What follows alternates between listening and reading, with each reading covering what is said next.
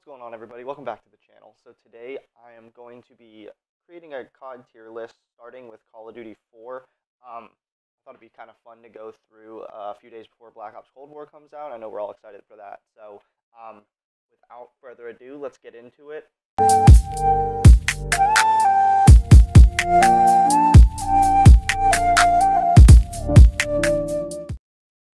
Also, a reminder if you guys are enjoying the content on the channel, I try to upload as much as I can. Uh, we're going to be doing mostly like Let's Plays, stuff like that. If you guys do enjoy the content, please be sure to like, comment, subscribe, all that, and make sure if you um, want to stay up to date with all the recent uh, uploads, just hit that notification bell on the bottom. But let's get into this. So let's start with COD 4.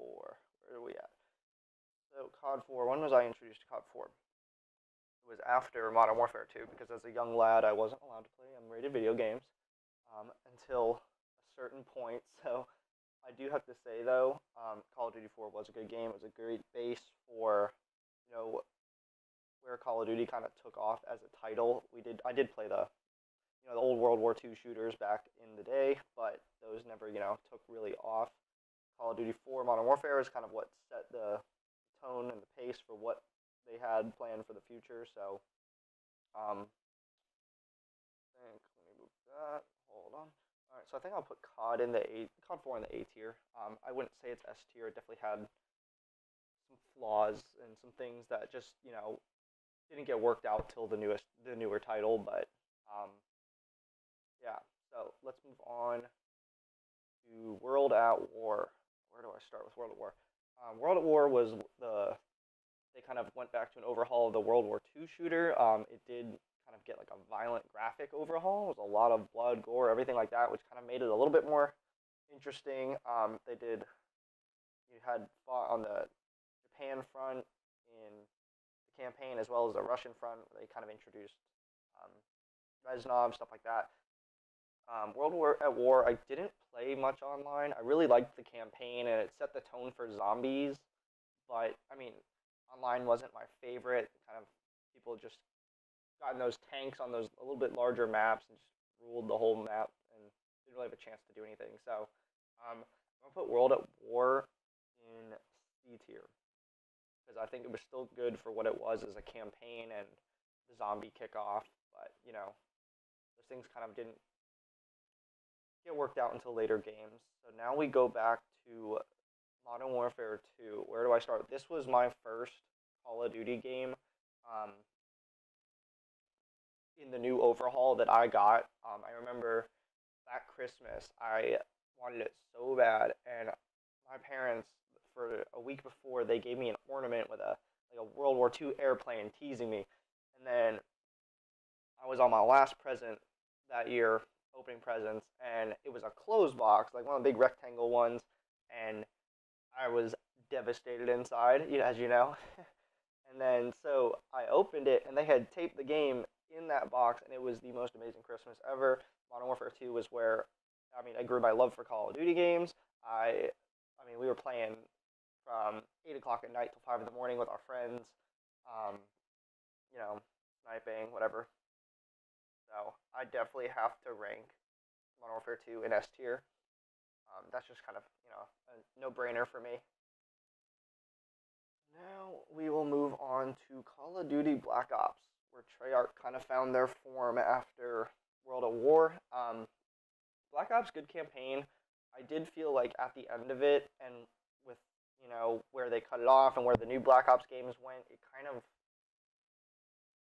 left you hanging. Um, online was fun. The zombies mode was amazing. Um, that's where it kind of know, zombies really found a really good form, all the pack punch, all that stuff. So, um, I'll put Black Ops in B tier.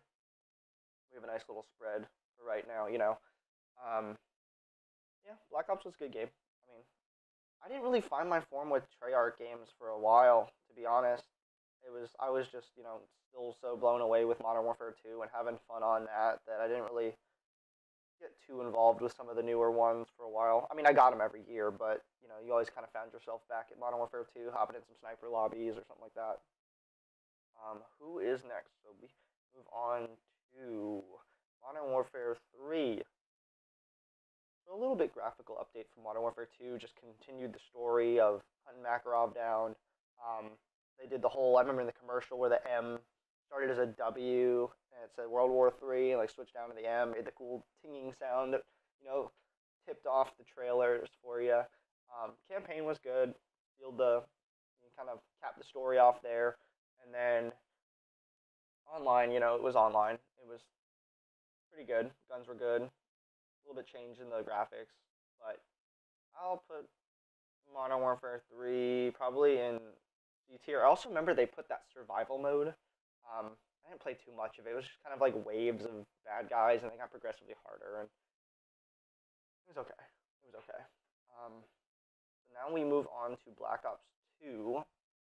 The Black Ops 2, awesome game. The online league play was so much fun. I had a lot of fun there. Um, campaign was okay. I didn't really care for the, the modern Black Ops campaigns, to be honest, all the way. I mean, we'll get to Black Ops 4 in a minute, but um, Black Ops 2's campaign was okay. It was interesting, something new. It was mostly online that sealed the deal for me. Um, kind of brought that sniping feel back that we got in Modern Warfare 2. But other than that, it was yeah, it was a, good, a great game. Um, I'll definitely have to put Black Ops 2 in S tier though, just because with the offer of league play, I mean that was just amazing that they offered that for you, and you kind of got that competitive experience, whether you were a pro player or not. Um. Now we move on to Call of Duty Ghost. Now this is where uh, we were making that transition from Xbox 360, PlayStation 3 to the Xbox One, PlayStation 4. Um, got to see some of the new mechanics, le- corner peeking. The slide was a little different. Um, I thoroughly liked, it to be honest, uh, and most people probably aren't going to agree with this, but I really liked Ghost. I thought it was interesting. I thought it was a good take on a new story. Um, online, I had a lot of fun. I had a lot of fun using the Honey Badger. One of my favorite guns it was a little too futuristic. I think they could, if they dialed it back, it could have been a very good Modern Warfare game. But um, I'll definitely say Call of Duty Ghost is going to go in my B tier. And where do we start with? Um, so this is where now we're going to transition into Call of Duty Advanced Warfare. Um, this is this game was interesting to me. Um, campaign was cool. It was cool. Um, you got to see like the motion capture of Kevin Spacey as irons and it was I mean it was like, interesting like I like the idea of private military companies but the exosuits was definitely a, a weird take and it was the newest take on Call of Duty um, that's where they kind of first introduced the jetpacking um, but Advanced Warfare was special to me just because I remember that's where I started like playing competitive online like nothing serious but I liked playing. I got into like game battles and stuff like that, and it kind of also just sparked where I sparked my interest in esports. So, because it holds a special place, I'll put it in the B tier. Um, other than that, it was it was okay game. Um, now we move on to Call of Duty Black Ops Three. So this is like campaign, whatever. I mean, we're not even gonna get into that. I mean, it was okay, but Black Ops 3 was my favorite multiplayer since Modern Warfare 2's. I know it had the jetpacking and, and it introduced the idea of like specialists. Um, but I had so much fun in this game. I was grinding it every night. I got my roommate in with me. We were playing game battles. I had another friend online. We were playing game battles all the time. The guns were amazing. They were very fun to use. They felt good. Um, and I mean, I had just Black Ops 3, if I could have an overhaul of that, and just you know, I'd go back to it. I'd definitely put that in S tier for me. That was some of the most fun I've had on a Call of Duty game, regardless of the new mechanics. Oh boy, here we go. Um, this is where the tier list is going to start to go downhill for you and me. Infinite Warfare. So this is Infinity Ward's take on the jetpacking. Um, campaign I'll give it that. It was a fun campaign. I would not have classed it as a Call of Duty game, to be honest. But the campaign was fun. It looked good. Um, it was interesting having the robot uh, companion. That I mean, it, it was okay. It was okay. Online, where do I start with online? Um, I maybe played three days of it. Did not like it. It was just it was not fun to me. I watched it a little bit like on like the tournaments and stuff, but I I didn't like it. So I'm gonna have to put that in D tier, just because the campaign gave it a little bit of bonuses. Um, now Call of Duty World War Two. Okay, so I remember when I first saw the trailer, I was ecstatic. I was excited Call of Duty was going back to boots on the ground. I was excited it was going back to World War II. And then I played it. So campaign, fun, not memorable. I don't really remember much of the campaign at all. I remember you could pick up like metal, medical packs that kind of threw it back to like those old like PlayStation 1 Medal of Honor games. Um, campaign wasn't very memorable to me. Uh, and then the online I liked a little bit. I didn't. I think I like that one mode where you had to kind of complete tasks as you were um, fighting, like building the bridge and stuff. Um, but other than that, I did not really get into it too much. I played it for a, a good chunk of time, but never really got competitive with it. Um, yeah, I just wasn't like.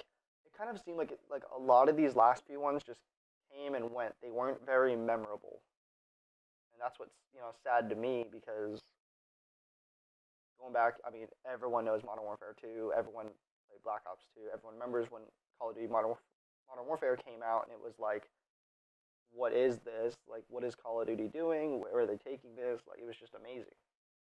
I'm going to put World War II in the D tier. Um, last is Call of Duty Black Ops 4, and it's going to have to. I mean, I'm just going to put it in trash, but that's because I didn't play it. I after Infinite Warfare and World War II, like I said, because those games weren't memorable, I lost my interest in Call of Duty. I really did. I I mean, I remember Blackout came out, didn't even play it. I played the beta. Um, and then when Black Ops 4 came out, I just didn't touch it. I was not interested. I was kind of disappointed that the past few years I've invested in those games and they just they didn't provide memorable experiences. So I, you know, I kept watching the competitive scene on like on Twitch or whatever, but you know, it just wasn't wasn't something I wanted to invest in. And then I know this list is actually a little bit shorter, but if Modern Warfare was on here, 2019 Modern Warfare, I'd put it in the A tier. Um, I had fun with it. It definitely provided a whole new experience for Call of Duty. Um, the campaign was amazing. It really was. It was it looked great. It was riveting. It was dark. Um, but multiplayer, I still play. I still play from time to time until you know Cold War comes out. But what one thing that really threw me off from it was the fact that I'm trying to gather my thoughts here so it can sound correct.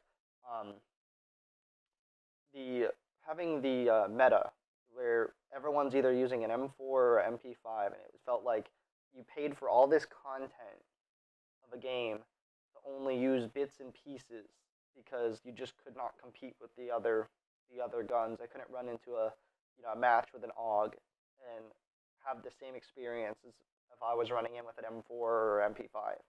Um, and I'd also put Modern Warfare 2019 in the A tier because it did introduce Warzone. It kind of seemed like Call of Duty grabbed um, got the grasp of what their battle royale needed to be like, unlike Blackout. Um, it's fun. I still play it. We all still play it. Um, it's you know it's been taking over the battle royale scene for a while now. So yeah, I mean that's my list, guys. Let me know down in the comments what you guys think, what your favorite games were, what weren't your favorite games. But excuse me.